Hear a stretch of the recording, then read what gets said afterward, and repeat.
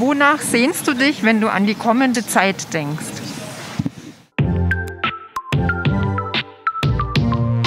Das Zusammenleben, so wie es früher mal war. Und vor allem an den Christkindlmarkt, der mir jetzt fehlt. Gesund zu bleiben und dass die Zahlen wieder nach unten gehen.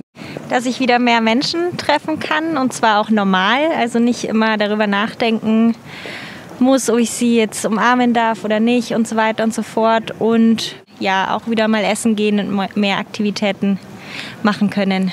Familie und Freunde zu besuchen. Natürlich wird es fehlen, Silvester, wenn man nur dran denkt. Wir haben da eine große Clique mit 10 bis 15 Leute und ich denke, das wird dieses Jahr einfach schwierig. Einfach wieder unbesorgt leben zu können, ohne dass man viel nachdenken muss, ob das jetzt gerade wirklich vertretbar ist oder ob man da jemanden in Gefahr bringen kann.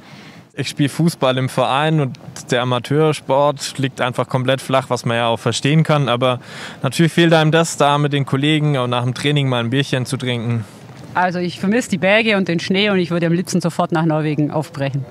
Lieber heute als morgen. Also mir geht es so alles so auf den Geist. Also aber hilft nichts, müssen wir durch. Ich sehe mich da mit Freunden zu treffen und auch mit der Familie wieder zusammenzusetzen einfach weil auch die Tage kürzer werden. Ja, die Geborgenheit wieder, dass man zusammenkommt. Große Reiselust hätte ich. Man ist immer hier ähm, und man vermisst auf jeden Fall, neue Leute zu treffen und neue Orte zu sehen. Dass man endlich wieder miteinander feiern darf, normal feiern darf, wie man es gewohnt ist, wie man es gern hat.